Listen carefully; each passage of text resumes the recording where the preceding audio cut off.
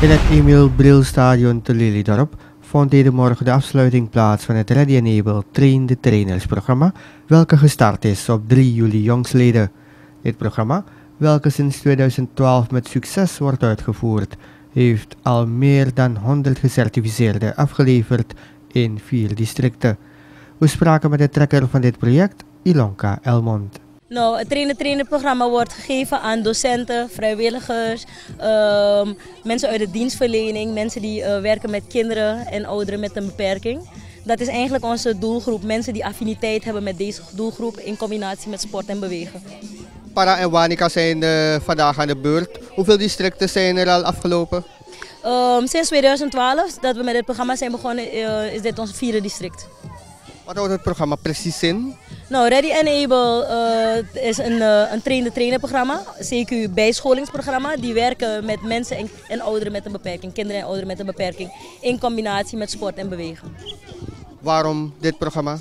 Nou, kijk, kinderen met een beperking, uh, die verdienen natuurlijk de nodige aandacht. Uh, bijscholing is, hoort natuurlijk tot de bouwstenen uh, van, de, van, de, van ontwikkeling in de maatschappij. Sinds 2012 hebben we exclusief de, cursisten van vandaag, vandaag is het examenmoment, hebben we er uh, 111 opgeleid. En als iedereen vandaag slaagt, is het plus 27. En waar zullen ze uh, worden ingezet? Nou kijk, veel mensen van onze cursus die komen ook uit het speciaal onderwijs. Hè? Dus die zijn ook uh, docenten. En dat is zo mooi omdat het ministerie van Onderwijs uh, um, daarop heeft ingespeeld. Hun docenten die vaardigen ze er naartoe af. Ook uh, het korpspolitie en de brandweer die hebben ook, zijn ook onderdeel van ons team. Maar ook mensen uit het bedrijfsleven of gewoon vrijwilligers. Mensen die het weekend hebben opgeofferd om hier met ons te zijn. Om een vierdaags, vol vierdaags trainen, trainen programma te organiseren. En uh, om, om het te volgen bedoel ik. Die we hebben georganiseerd. Ja, dan, uh, dan zeg ik van ja, Wanika en Para die, uh, die zijn klaar ervoor en die willen heel graag goed bijgeschoold worden. Welk district volgt hierna? met dit trainen-trainen programma gaan we dan naar Paramaribo terug. We hebben dit al, al, een paar keer in Paramaribo gedaan. Omdat Paramaribo een veel groter district is, veel meer mensen. Maar we gaan eind van het jaar veel dieper in op de materie. Dus we gaan eigenlijk naar zeg maar, een deel 2 van het programma. En dan komen we weer naar alle districten waar we geweest zijn. Hoe loopt het programma tot nu toe met uh, de districten die zijn afgelopen? Nou, heel erg goed. Uh, kijk, als we bijvoorbeeld het district Nikeri pakken. Uh, Nikeri heeft er heel mooi op ingespeeld, de DC. Die heeft bijvoorbeeld gezegd, na het trainen-trainen programma die we vorig jaar en het jaar daarvoor hebben georganiseerd daar, hebben ze in totaal 43 nieuwe sportleiders.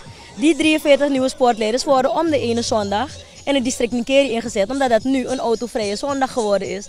En de sporttrainers, de mensen gaan dus nu sporten. Rondom het Brasaplein wordt er nu gesport.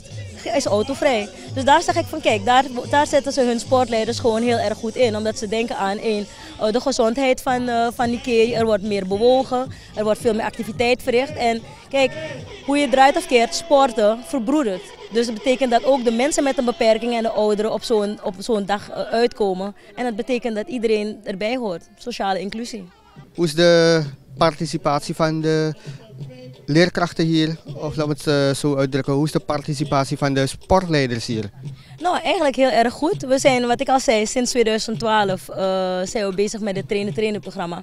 En in de districten is het uh, zo, we hebben per training die we organiseren 25 plaatsen beschikbaar. En ik kan met trots zeggen dat Wanica de volle 25, eigenlijk meer dan dat, 27 man heeft ingezet om, om, om mee te doen aan de training. Dus we hebben voor het eerst in een district meer dan maximale participatie. En kijk, ik kom uit Wanica, dus ik, uh, ik ben erg trots. Echt waar.